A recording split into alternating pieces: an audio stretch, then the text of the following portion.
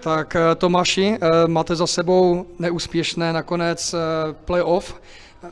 Poslední zápas dnešní se prohrál 1-2, i když se přes 50 minut vedlo. Sednatý výkon, skvělý výkon, asi to zamrzí takový konec. No určitě, po tom, co my jsme nějakým způsobem, nebo viděli jsme sílu Slávie, která jednoznačně udělala všechno pro to, aby se dostala zpátky do té nejvyšší soutěže, tak dneska kluci na ledě nechali opravdu všechno.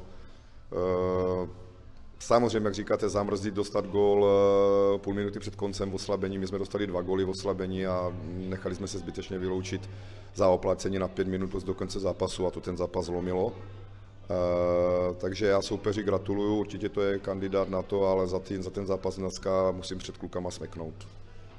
Když zhodnotíme celou sezonu, hráli jste proti suverénnímu týmu celé soutěže, vy jste nakonec měli polovinu bodů, když to řeknu, proti té Slávii. Jaká ta sezona byla dlouhodobého hlediska? A když se vrátím ještě k té Slávii, tam dneska, nebo ty zápasy odehrali proti nám kluci, co hráli e, Polák a, a další tam, co hráli za, za A tým, jo, takže to byl diametrální rozdíl. Eh, my jsme měli v podstatě o rok a půl mladší tým, co se stačí skladby, my jsme měli strašně hodně mladých hráčů a oni samozřejmě, když mužstvo chce postoupit, tam mělo 10, 10 eh, dorazových hráčů, 6 ročníků 2005 a my jsme to měli jeden jeden.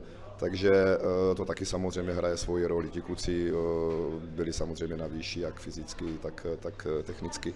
Co se týče té sezóny, Eh, jak říkám, i v té sezóně jsme měli nejmladší tým, eh, rozhodovali jen to hráči 2006, což eh, pro ty kluky bylo velmi dobrý. My jsme měli takové, takové série na houpačce, měli jsme úzký kádr, takže když nám onemocněl nebo se dostali ze sestavy kluci, kteří převážně rozhodovali ty zápasy, tak jsme najednou třeba 3-4 zápasy prohráli.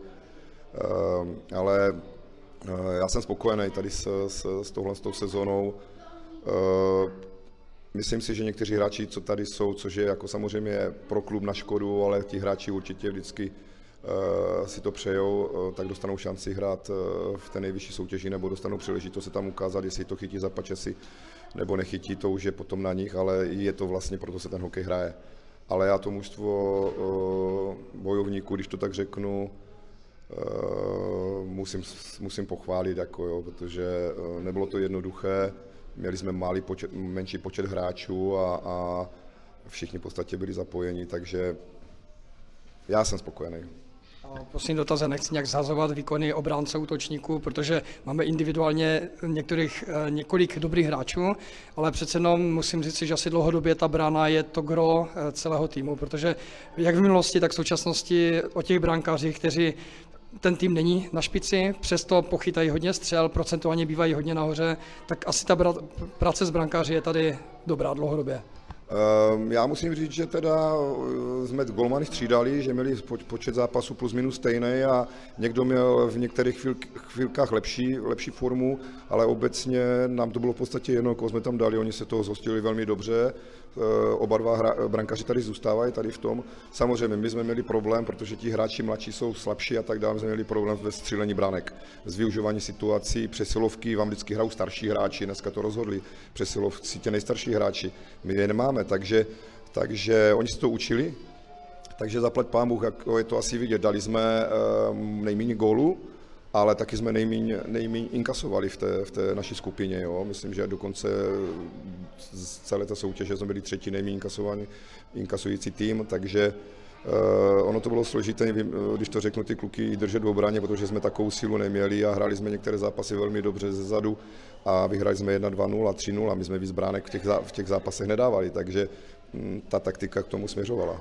Takže slovem na závěr, byl jste spokojený nakonec tou sezónou? Já jsem byl spokojen, protože ta práce není jednoduchá.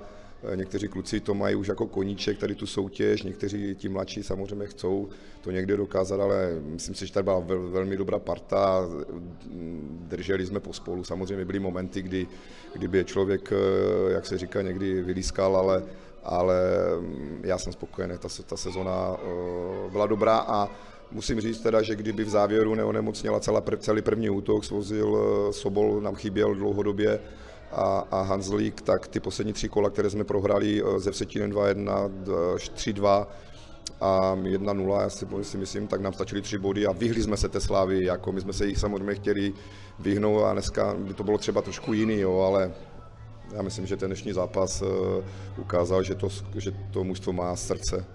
Super, tak já moc děkuju. Já taky.